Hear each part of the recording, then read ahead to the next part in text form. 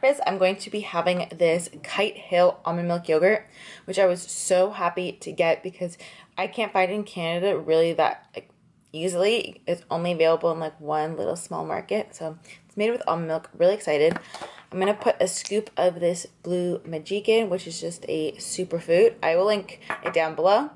Some of my Purely Elizabeth granola, you guys know. And some blueberries that have already been washed. I washed the whole thing when I got it, so for people who are going to comment, it's already washed. This is the breakfast. We have the yogurt, the blueberries, and some granola. It's going to be really yummy, and I love the blue color of the yogurt. I am about to put on some diffusing, diffusing, diffuse my diffuser, and I'm going to be using this, will it focus? The Saje Liquid Sunshine because it is so overcast and like sad looking today. So I'm going to diffuse this so that it can at least smell like sunshine in the house even though it's like really overcast and muggy. And I put like 10, 15 drops 15. Diffuser is limited edition. Um, I feel like I'm gonna get questions on it because it's so pretty and it's marble. Um, and it's from Saje. I will leave their website down below. They bring it back, they brought it back last Christmas, so they might bring it back again this Christmas. But they have a lot of other pretty diffusers as well. I can show you another one that I have. This is another diffuser by Saje that I have. It's by my bedside. It's really pretty and it's like this silvery, I don't know, geode. Uh, Paulina, like PB Bunny 97 87 actually has like the same one. So yeah it's really pretty too. So i highly suggest oh and these are a couple other things that i used from them. This is their rose mist and this is their tantra euphoric mix. Oh and since we're here this is the hand cream i keep it by my bed and uh it smells not smells it works really good at like keeping your hands um not not dry. I don't know what to say but it's really good and absorbs quick. Excuse my nails i need to get them done so I'm about to make some coffee. I'm going to be making this Four Sigmatic one with lion's mane and chaga because I'm studying and lion's mane is really, really good for brain power and for memory and everything like that. So they just come in little packets. Normally I'll make my coffee in like my actual huge Breville espresso maker. Um, but yeah, I'm going to be making this because it helps. And I'm going to show you the other things I'm putting in my coffee as well. All right, so we start off with a packet of this and I get it either on Amazon or at Whole Foods. And I like to put a splash of almond milk, or in this case, I have macadamia milk on hand. Um, I just don't like the taste of it without milk. Normally I drink my coffee black and I don't put like anything in it. Um, but I find this just tastes better when you put a little bit of milk in it, for me at least.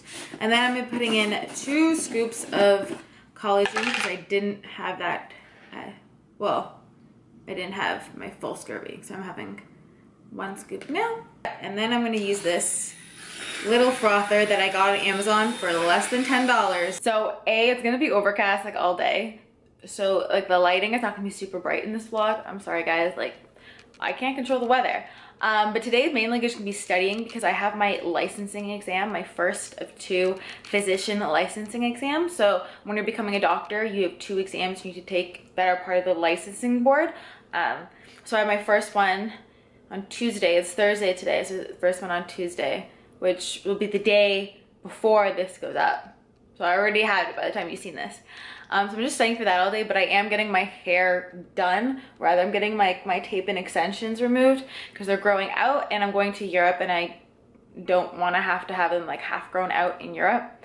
So I'm gonna be doing that. But also it's exciting because I'm gonna be vlogging a bunch in Europe because I'm visiting my family in France. And I wanna do like some what I eat in a days or like cooking for my family with like things you only find in Europe because a lot of people like they say they can't find the ingredients I use in a lot of my stuff. So I'm gonna be doing recipes and what I eat in a days with like stuff that I find in France, which is like a European country. So like you'll see how I eat healthy, what I cook, um, so I'm about to have an early lunch because of my hair appointment and I don't want to be hungry and then I'll get back like later in the afternoon and it'll be kind of late for lunch. So I'm trying out this new soup I got. It's the West African squash and cashew with coconut, turmeric, and cinnamon. It doesn't have, it's gluten free and it doesn't have any dairy in it. So we're gonna we're gonna see if it's good. And then with that, I'm just going to have some toast. This is my favorite gluten-free brand, sorry. Um, I don't know if you can get in the States, but here in Canada, it's pretty popular. It's the millet and chia, yeah. I'm gonna toast some of that up and have it with my soup. So here is more of a close-up of my lunch. So I have the soup that I heated up and then a couple pieces of toast, which I put some um, like a vegan dairy-free butter that's made with only a few ingredients like coconut oil, a little bit of sea salt and that. So yeah, this is what I'm going to have for lunch. And it's so gloomy out that this kind of works. And I love things where you can just buy soup that is clean ingredients, something that only has a few of them, and then just heat it up. Really makes like a good convenient meal that's fast if you're super busy or if you're studying for exams like I am. So yeah, yummy yummy. Hey guys, I just got back from the hair salon and got my extensions out and it's just it's so thin like if you've had extensions you have really fine hair you know what I mean? It's just like there's just not that much hair left like it's it's sad. But I'm gonna give my hair a break while I'm in Europe and then the beginning of September before like school starts because my school starts in September I'll probably put them back in because it just feels so much better with it. And I mean, it feels like really soft. He did a keratin treatment and he like cleaned up my ends for me, which is really nice. Um, on my way back, I stopped at Starbucks as I was craving, well, was honestly just craving a coffee. So I got half caf because I do want a bit of caffeine to help me study. I find that when I have caffeine while I study, my brain is like a sponge and I just study a, like a lot, lot better. And I'm going to be snacking on this while I study now. It is this chocolate sea salt bar from RX Bar. I like it because it's really clean. These are the ingredients, as you can see, really nice and clean. Side note, how pretty is this succulent? I've had it for like a month now. Anyways, I got it at Ikea and it was like $20.